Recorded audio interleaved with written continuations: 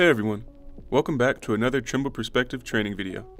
And in this video, we will discuss how to georeference and the minimum requirements needed to georeference your project. So let's get right into it.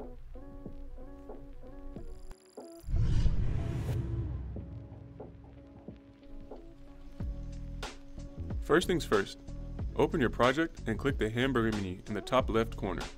Next, click Georeference Project. And if you have not already refined your project, Perspective will prompt you to do so.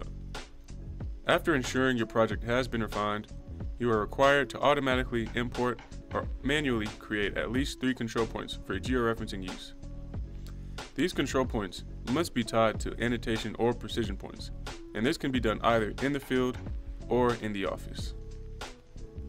To demonstrate, I will create an annotation on this target used for georeferencing. Please note that when you are choosing annotation points to match your control points, the Use for Georeferencing box must be checked.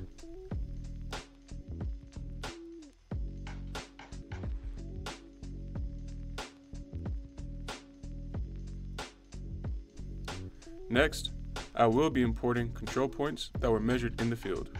And please keep in mind that if you are creating annotations for georeferencing use, that you must know the height of the target. After applying the imported points, Perspective will automatically match the control points to the annotations, completing the georeferencing process.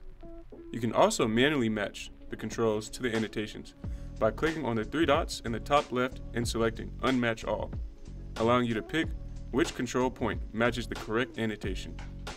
Oh, and by the way, Perspective georeferences in a 1 to 1 scale, so it is recommended that you work in your local or ground coordinate system.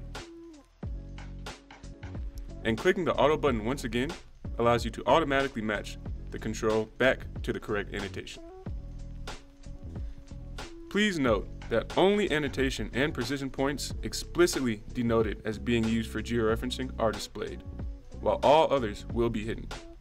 Now you can either manually or automatically match your annotation or precision points to your control points, as I've previously shown. Once you have matched your points to control, you are now finished. And to reiterate, when georeferencing in perspective, please ensure that you have at least three annotation or precision points that are checked for georeferencing use to ensure you have properly georeferenced your project.